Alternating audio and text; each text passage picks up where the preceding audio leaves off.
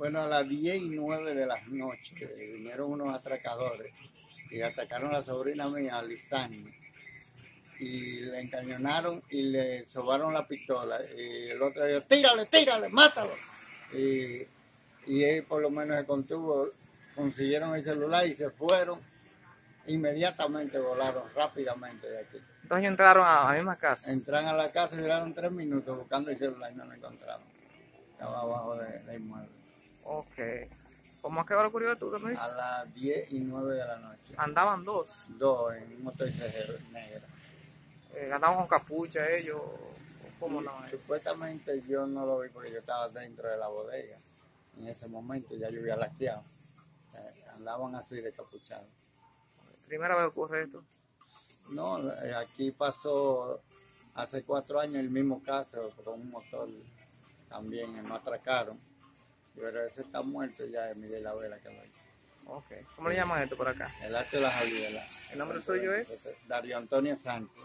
para decirle que el sábado en las noches eran las 10 y 9 de la noche, estábamos aquí sentadas, las niñas, dos niñas estaban conmigo, ah, cuando estaba mi sobrina ahí oyendo música, ah, la más vieja de ella se fue a bañar y la dejó, menores estaban ahí oyendo música. Cuando pasó lo que pasó, yo estaba, me fui para la, para el cuarto mío con la otra niña. Mi otra sobrina quedó aquí adelante sentada con su celular en la mano, pero ella no lo estaba usando. Cuando ella coge y ve que vienen de frente los motores, dieron, se dieron acá adelante, ellos volvieron para atrás y ella vio la mala intención de ellos y corrió para la sala. Se desmontaron de aquí y la siguieron y se metieron dentro de la, de la sala. Ahí la, la, la revolcaron, revolcaron todas la- las cosas de, de los muebles, le encañonaron y el muchacho de aquí afuera, ahí que le dijo, tírale, tírale, tírale.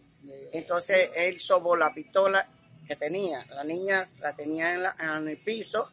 Luego la para y le dice que le busque el celular. Entonces ella le dice que no lo tiene. So, cuando ella la tiene agregada así a las paredes, a las ventanas, la niña está paniqueada, ya no haya qué hacer porque el celular está ahí en el piso y ya no va a trabajar. Cuando dice ella, no, no, no, no, no, ayúdenme, mami, mami, mami, pidiendo auxilio, porque ella está sola con él. Las otras muchachas se metieron al cuarto, hubo una que lo identificó bien, que es la, ma- otra mayor, porque se metieron con todo a al cuarto, la dejaron allá sola ahí, porque tenían miedo. El muchacho, yo salgo del del cuarto y hago así y miro. Cuando miro, yo le miro la cara que era redonda, con, con el pelo como recogido así, como con risito así. Tiene como un mechón por ahí. Cuando le dice él, búscalo, búscalo. Y la niña lo grito, grito, grito, grito. Mamá, mami, ayúdeme, ayúdeme. Se le salen hasta los pipí. Cuando em, eh, dice, eh, ella está viendo el celular ahí, porque ella lo hizo en el trayón. Y él, búscalo, que la busque. Duraron 12 minutos con ella ahí batallando sola. Todo por un celular. Sí, entonces esto, viene mi hermana que está al lado y oye el movimiento, le dice, Luis, Luis, Luis, corre que hay un, un, un, un atraco en mi casa, corre, corre con la niña, con la niña.